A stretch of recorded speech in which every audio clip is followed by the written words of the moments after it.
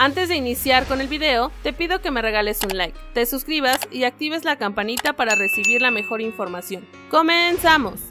Santos Laguna recibirá a León por la fecha 12, estas serían las posibles alineaciones. El duelo correspondiente a la fecha 12 de México Apertura 2023 se jugará el próximo domingo 8 de octubre a las 19 horas del centro de México. El conjunto local viene de ganar y quiere mantener su racha positiva, mientras que el visitante tratará de volver a conseguir los tres puntos, después de haber empatado en la fecha pasada. Santos Laguna derrotó por 2 a 1 a Tijuana en su encuentro anterior y buscará otro resultado favorable en su casa. En los últimos cuatro partidos disputados se quedó con la victoria en dos partidos y resultó perdedor en dos oportunidades. Le han encajado 11 goles y ha convertido 10. León sumó de a 1 en la fecha anterior, tras igualar por 1 a 1 con Querétaro. En los últimos partidos que disputó obtuvo un victoria, una derrota y dos empates. Ha convertido 5 goles y ha recibido 6 en contra. Con base en ello el conjunto Esmeralda podría jugar de la siguiente manera en el choque ante los de la comarca. Rodolfo Cota, Osvaldo Rodríguez, Paul Bellón, Adoni Frías, Elías Hernández, Fidel Ambriz, Lucas Romero, Alfonso Alvarado, Ángel Mena y Federico Viñas. Las últimas cinco veces que se enfrentaron en el torneo tuvieron todos los resultados posibles. El conjunto local acumuló un victoria, mientras que la visita sumó dos. En dos partidos terminaron igualados en el marcador. La última vez que se vieron las caras en esta competencia fue el 20 de marzo, en el torneo Clausura 2023, y León resultó vencedor por 4 a 1. El local está en el décimo primer puesto con 14 puntos, mientras que el visitante llegó a 12 unidades y se coloca en el décimo segundo lugar en el torneo. Parar ese compromiso, el técnico uruguayo